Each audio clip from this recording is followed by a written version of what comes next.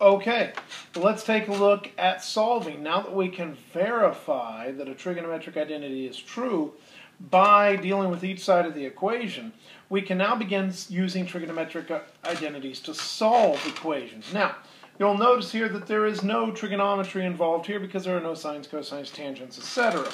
But I do want to cover a couple key concepts. The first of which is if you can solve this, you can solve a basic trig identity. Uh, you can simply subtract x from both sides. 4x plus 2 equals 0. 4x equals negative 2. x equals negative 1 half. No big deal. Over here, obviously, you're going to have to do what? Factor. So in this case, x squared, x squared. And I'm going to have a 3 and a 1 and a plus 3 and a minus 1 equals 0. Now, Remember that anytime you factor that if you need to solve, you simply take each piece and set it equal to 0. And so you have x squared equals 1, x squared equals negative 3, and just as you can't take the square root of this, there might be some potential areas where you have no solution because this might not be a valid mathematical statement. Going to have to pay attention to that when we hit trig functions as well. Over here, x squared, you also have plus or minus that you need to deal with, so we may have to work with a little bit of that as well. Over here, here's the biggest mistake people make. At this point, say, oh, there's x on both sides, let's divide both sides by x. The problem is that is wrong. You cannot do that because if you divide by x, you eliminate a potential solution, especially if you cross these out, okay? Now, in this case, your best bet is going to be subtract x. Subtract x. And in this case, you have x squared plus 2x equals 0. To solve this, you are indeed going to have to factor, bring an x out, and now set each piece equal to 0. Okay, so at this point, that is basic solving. Now let's actually go to a little trigonometry. In this case, let's make it, instead of 5x, let's say 5 sine x plus 2 equals sine x.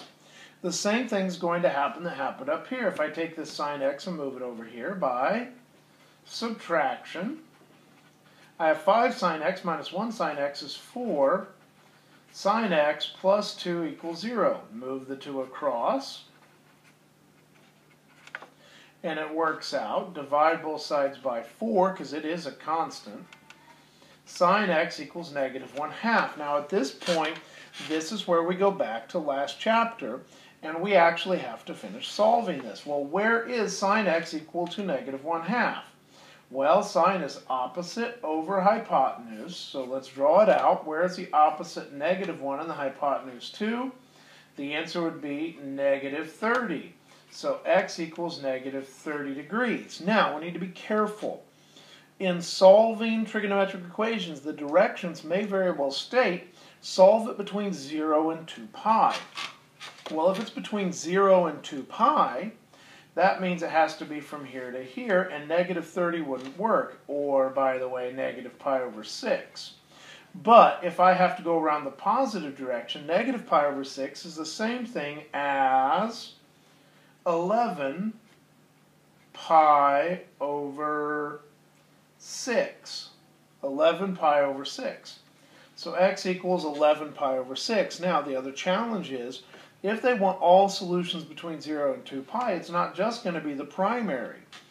You also could have the opposite negative over here.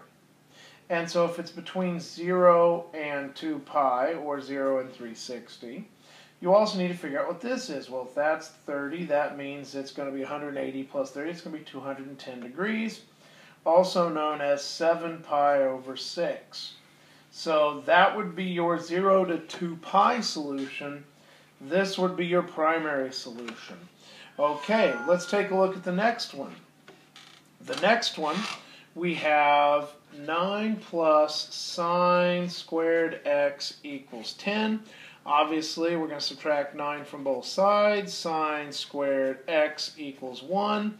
Okay, we're going to take the square root both sides. Sine x equals plus or minus 1. Now this becomes important because we're looking for the place where sine x is either equal to positive 1 or negative 1. Well, where is the opposite and the hypotenuse both 1?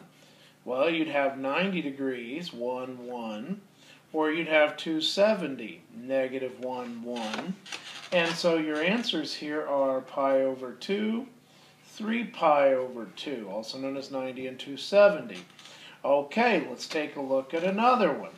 Let's go ahead and take sine to the fourth x plus 2 sine squared x minus 3 equals 0. Well, in this case, I can't use any trig properties to simplify. I can't just get sine by itself like I could in the last two problems. I have to, some powers to work with, so it's obviously going to be a factor deal. So sine squared x, sine squared x, and just like last time, plus 3 minus 1. And we're going to set it equal to 0, but just like factoring last time, I need to separate each piece and set it equal to 0.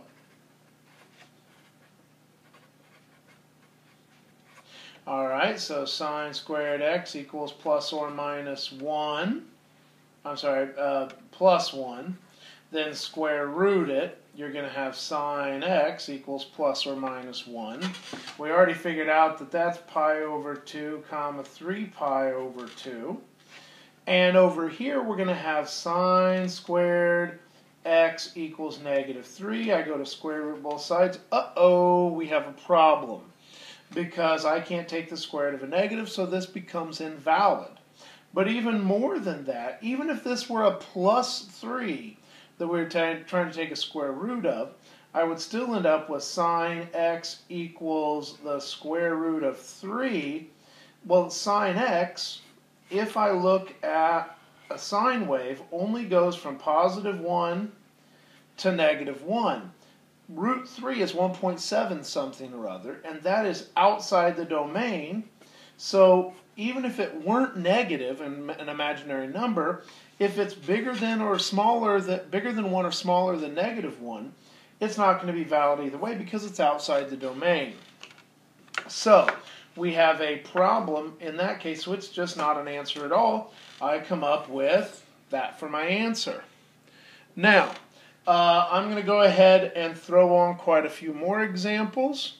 Uh, so let's go with a few more here.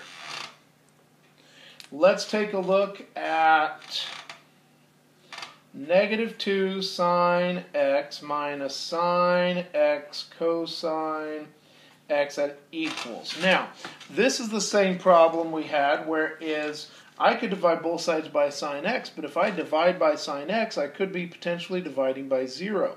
So let's get everything to one side, negative 2 sine x plus sine x cosine x equals 0 by adding sine x, cosine x to both sides.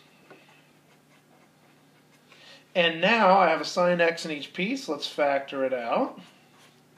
Negative 2 plus cosine x equals 0. Sine x equals 0.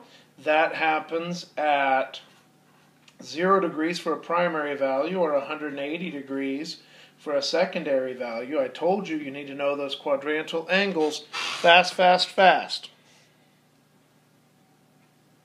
Now, so with this, by moving it over, taking the sine x out, and we end up with this. We break it into these two pieces, 0 and 180. you got to know those quadrantal angles. Negative 2 plus cosine x. Negative 2 plus cosine x equals 0. Cosine x equals 2. And again, it's invalid because cosine goes from 1 to negative 1. So if I have something that's at the 2, and it is not part of the valid answers. So my answers would be right there again. I'm going to throw a couple other extra examples up, but that should give you a pretty good idea of solving using trigonometric functions.